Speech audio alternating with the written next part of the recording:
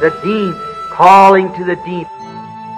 that the noise of thy water spouts, O Lord. The deep calling to the deep.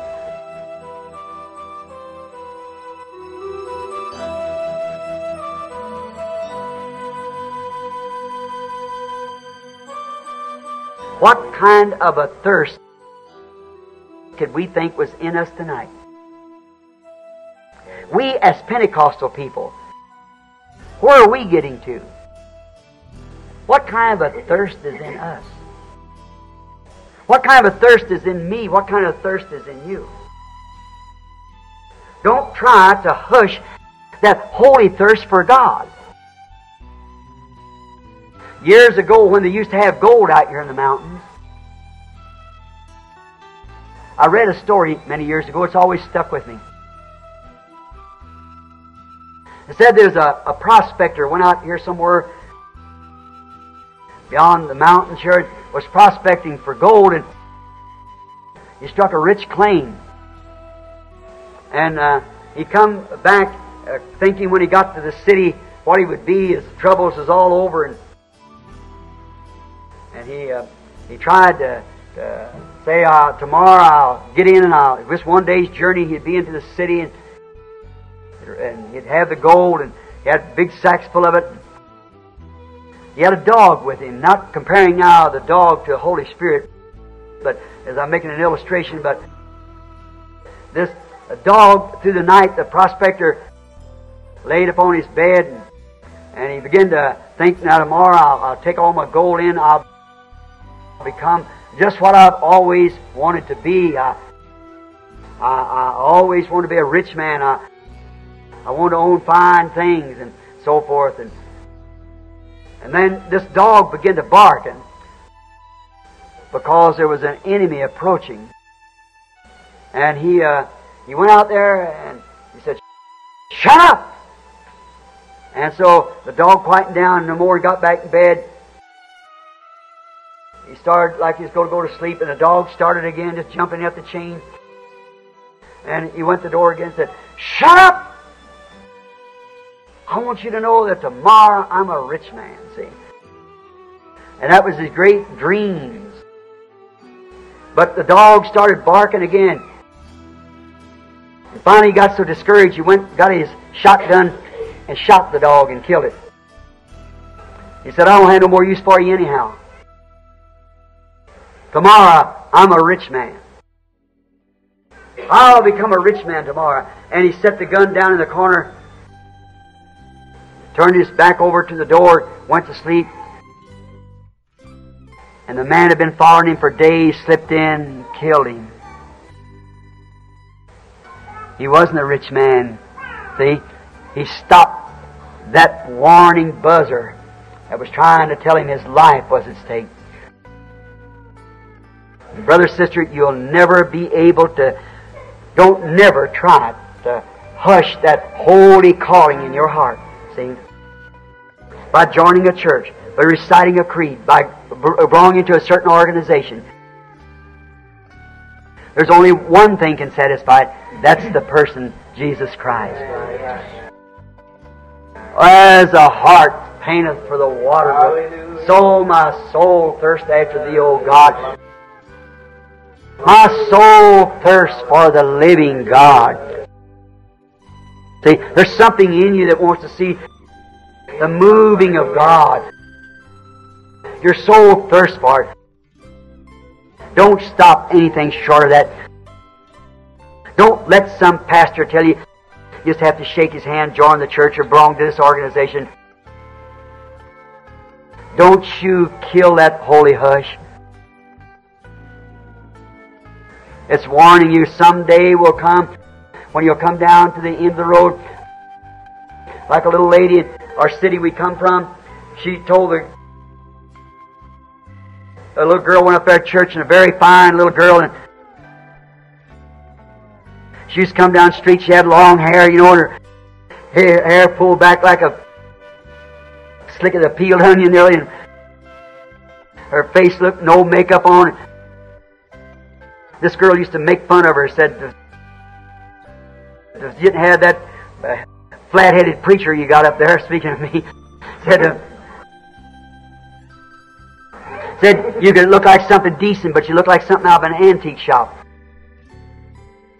No, she just really raked her over the coals. Every time she could see her like that, said, "Our pastor's broad-minded." Said he, uh, he, he knows uh, uh, them that the why you do like that. That don't mean anything. How you dress or things. It does. God's Bible says it does. We shall live by every word. So, this little girl never paid a bit of attention to her. Went on, she's a missionary now. So then, this, uh, this young lady took a social disease, and she died. A friend of mine pumped the embalming fluid in her. When she was dying,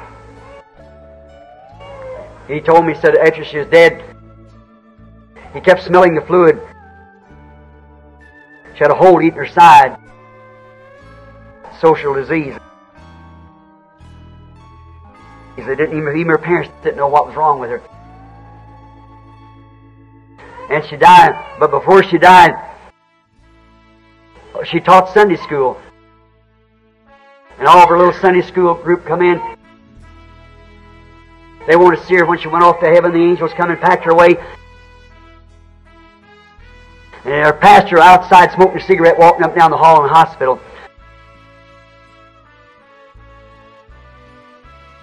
And they was all going to sing when she was going to die. You know, they know she had to die. Doctor said she's dying.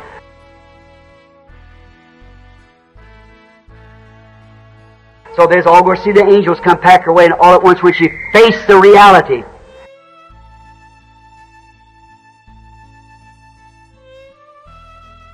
Now, she was a loyal church member. She was a Sunday school teacher. And a loyal church member of a fine, big denominational church.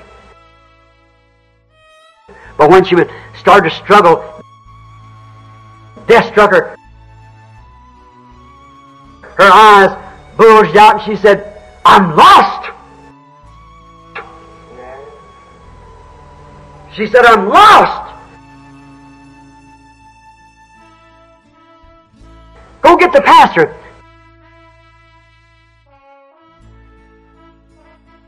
He put his cigarette out and walked in. Said, Here, here, here, here. We'll get the doctor and give you a high hypo. Said, I don't want no hypo. Said, You deceiver of man.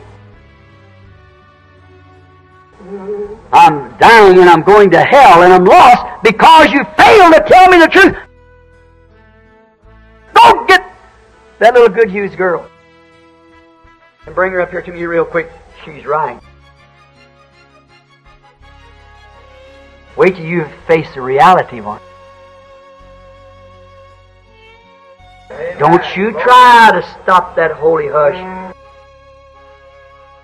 Don't you blast it away with some modern educational double barrel shotgun. You listen to that warning of the Holy Ghost tonight. Let's warn you, I am the way, the truth, and the life. No man cometh unto the Father but by me, and He is the Word.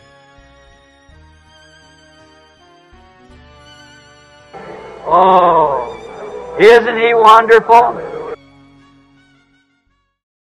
Wonderful, wonderful, Jesus is to me. A counselor, Prince of Peace, mighty God is He.